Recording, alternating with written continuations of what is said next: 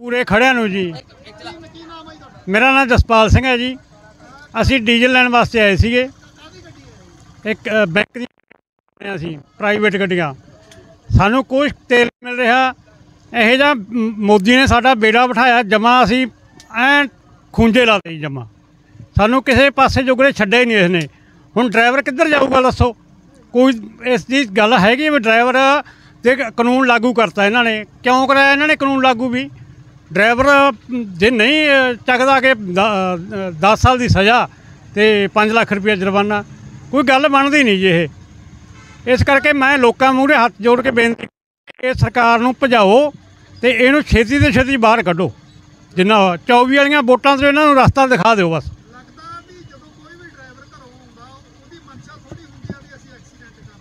ਹਾਂਜੀ ਹਾਂਜੀ। ਅਸੀਂ ਤਾਂ ਜੀ ਮਰਿਆ ਪਿਆ ਕੁੱਤਾ ਵੀ ਵੇਖ ਕੇ ਪਾਸੇ ਤੋਂ ਲੰਘਾਉਣੇ ਹੈਗੇ।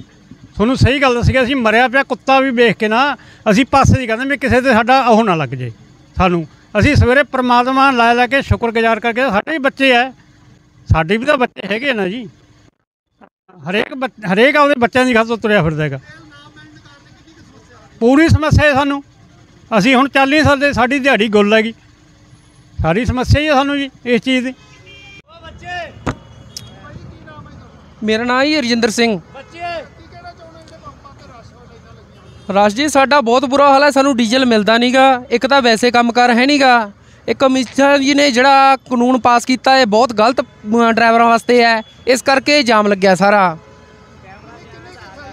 ਬਹੁਤ ਜ਼ਿਆਦਾ ਖਿਆਈ ਹੈ ਜੀ, ਦੇਖੋ ਲੈਣਾ ਲੱਗੀਆਂ ਪਈਆਂ, ਸਾਨੂੰ ਡੂਢ ਘੰਟਾ ਹੋ ਗਿਆ ਖੜਿਆਂ ਨੂੰ ਇੱਥੇ ਪੰਪ ਤੇ। ਪਤਾ ਨਹੀਂ ਹਲੇ ਡੀਜ਼ਲ ਮਿਲੂਗਾ ਕਿ ਨਾ ਮਿਲੂਗਾ। ਉਹੀ ਤਾਂ ਗੱਲ ਕਰਦੇ ਜੀ, ਪਤਾ ਨਹੀਂ ਮਿਲੂਗਾ ਕਿ ਨਾ ਮਿਲੂਗਾ। ਲਾਈਨ 'ਚ ਤਾਂ ਲੱਗੇ ਹੋਏ ਆ ਹੁਣ। ਹੁਣ ਉਧਰੋਂ ਗੇੜੇ ਤੇ ਜਾਣਾ ਸੀ, ਉਧਰੋਂ ਅਸੀਂ ਖੜੇ ਆ ਇੱਥੇ। ਗੇੜੇ ਵਾਲੇ ਦੇ ਫੋਨ ਆਈ ਜਾਂਦੇ ਸਾਡੇ ਕੋਲ। ਬਹੁਤ ਤੰਗ ਹੈ ਜੀ। ਬਹੁਤ ਗਲਤ ਹੈ ਜੀ ਡਰਾਈਵਰਾਂ ਵਾਸਤੇ ਤਾਂ ਸਾਡੇ ਵਾਸਤੇ ਤਾਂ ਬਹੁਤ ਜ਼ਿਆਦਾ ਗਲਤ ਹੈਗਾ।